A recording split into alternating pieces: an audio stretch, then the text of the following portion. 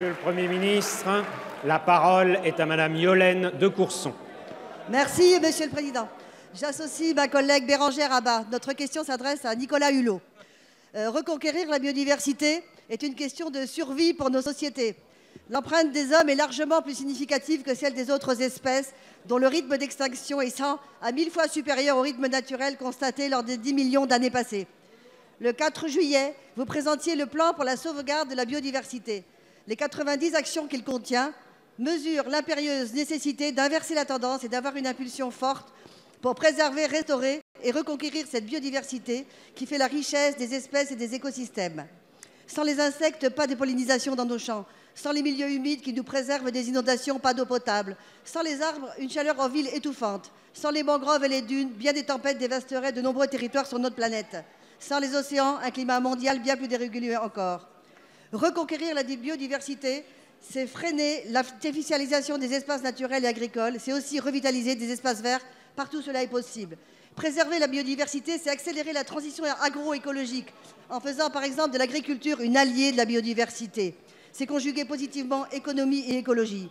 Protéger la biodiversité, c'est restaurer la nature dans toutes ses composantes à travers notamment la création entre la Haute-Côte d'Or et la Haute-Marne du 11e parc national, premier parc national des forêts de plaine. L'ensemble du gouvernement s'engage à travers ce plan. En agissant au cœur de nos politiques publiques dans nos territoires et avec l'ensemble des acteurs, notre ambition est d'embarquer la société française dans une mobilisation collective. Élus, collectivités, entreprises, associations, citoyens, nous sommes tous concernés. Comment la France peut-elle profiter de son leadership sur le climat et la biodiversité lors des prochaines échéances internationales comme la COP15 de la Convention de l'ONU, où seront discutés les engagements de chaque État pour la décennie à venir? Comment notre pays peut-il œuvrer pour sortir définitivement la biodiversité de l'indifférence générale Je vous remercie. Merci, Madame la députée. La parole est à Monsieur Nicolas Hulot, ministre d'État, ministre de la Transition écologique et solidaire. Merci, Monsieur le Président, Mesdames, Messieurs les députés, Madame la députée Yolaine de Courson.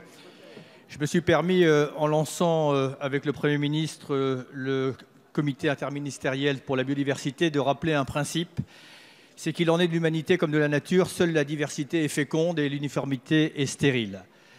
Avec le Premier ministre, nous avons lancé ce plan d'abord pour sortir de l'ombre, un enjeu qui est aussi déterminant pour l'avenir de l'humanité que l'enjeu climatique, et bien pour mettre dans la lumière un enjeu d'ailleurs qui est indissociable de l'enjeu climatique. Mettre la, biodiversité au même niveau que le climat, ça ne se décrète pas, nous y arriverons, je l'ai déjà dit, tous ensemble, mais pas les uns contre les autres. Dans ce plan, il y a trois axes essentiels, chers à mes yeux, parce qu'ils se rejoignent parce qu'ils nous forcent à repenser d'abord notre rapport à l'espace.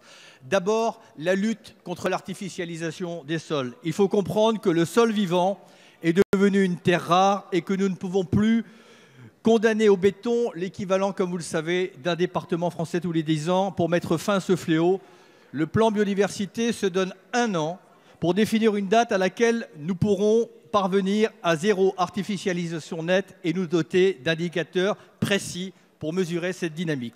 Le deuxième enjeu, c'est qu'il faut laisser à la nature tout simplement des espaces de respiration et, la laisser tranquille. On a besoin pour ça de plus d'espaces protégés et le plan biodiversité, vous venez de le citer, propose l'extension de 20 réserves naturelles supplémentaires d'ici 2022 ainsi que la création d'un 11e parc national. Ça sera d'ailleurs le premier parc national terrestre de métropole en pleine que nous créons depuis 40 ans. Puis la troisième chose, c'est qu'il faut cesser d'empoisonner la nature.